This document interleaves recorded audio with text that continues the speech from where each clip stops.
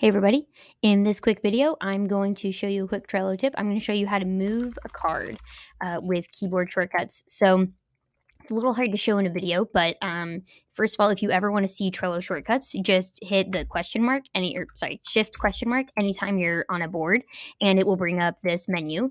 So if you're ever wondering what exactly it looks like on your machine, um, feel free to come here to look at exactly what it's like. But what we're going to talk about today is this command, which is moving cards to adjacent lists. And so let's say I'm navigating between cards. Yes, I spelled that wrong, but that's part of the fun. Notice I'm just clicking my up and down arrows to move between, like, to hover over cards. Notice the color of it changes slightly. Let's say I want to move this card to doing.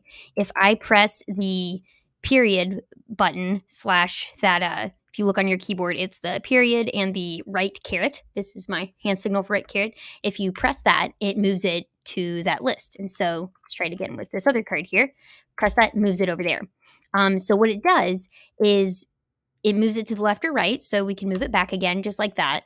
But one thing that's important to notice, if you want to move it to, it automatically moves it to the bottom. If you want to move it to the top, you just have to hold shift and then hit that button. So see it's moving it between the top and the bottom, whereas no shift, it just moves it to the bottom. Shift, top. No shift, bottom. Um, so yeah, hope that shortcut is helpful.